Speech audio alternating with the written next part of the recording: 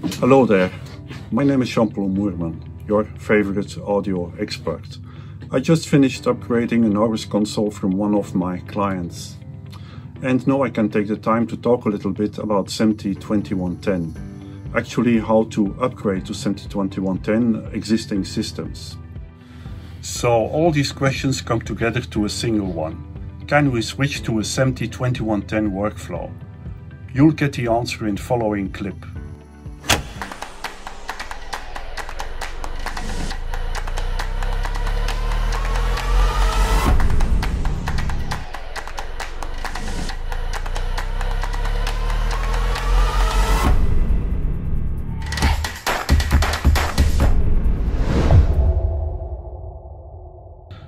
Thanks for staying with me and continue this topic about how to switch uh, from TDM fiber to this ST2110 connectivity uh, within the STAGETEC uh, Nexus uh, system.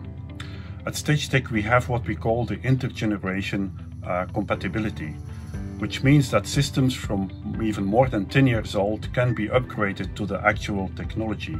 So actually meaning that the client doesn't have to upgrade his complete system.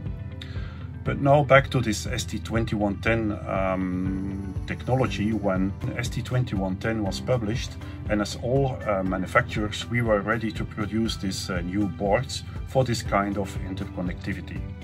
And now it's time to dive in how to switch from TDM fibers to this ST2110. For quite some time now, there are Nexus interfaces in all audio over IP formats Dante, Ravenna, AES67, and SMPTE ST2110. However, the topic of this clip is how to switch the Nexus internode connectivity from TDM fiber to actual IP. Replacing TDM by TCP IP Layer 3 is done by using the ST2110-31 format, transporting the same audio and control data. As a result, we can connect all Nexus nodes or base devices over a TCP IP switch, also known as a data center of a broadcast center or the central switch of an OB van. The setup here is just two base devices interconnected by fiber handling the classic STAGETEC protocol over TDM format. A laptop is connected, and this is running the Nexus GUI. Opening Nexus service shows the channel capacity per fiber connection in between base devices and the fiber optical budget. Now we disconnect the main and redundant fibers. Logically, audio will interrupt, and the GUI shows system messages while base devices turn red. Replacing the former fibers with two Ethernet connections will guarantee seamless protection switching according to ST2022-7. A standard switch is set up with two VPN domains to separate the red and blue network, thus establishing a redundant connection. This is all standard IT application, no rocket science involved. As Nexus XFIP boards have been configured to send the streams as soon as the connection is established, we continue to build up the connection. On the other end, we connect the second base device. In the GUI, opening the stream window will show the streams. As soon as the connections are detected, they will turn yellow for an active main or port 1. Logically, base devices turn from red to gray, and audio will run. Yellow flashing will turn to green when the redundant stream becomes active. Opening the parameter window in Nexus even shows the diverse TCP IP related data as an IP address. The stream label and other important data are all transported within the existing Nexus UDP protocol. Also, in Nexus Service software, you can find how many channels are transported in the ST2021-31 connection. The same numbers that were used before in the fiber TDM connection show up here. We successfully replaced TDM fibers by IP streams. For the user, there's no difference in capacity or degradation in functionality when switching from one to the other.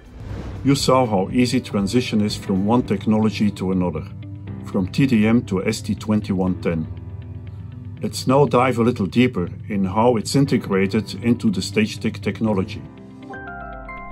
It should now be clear.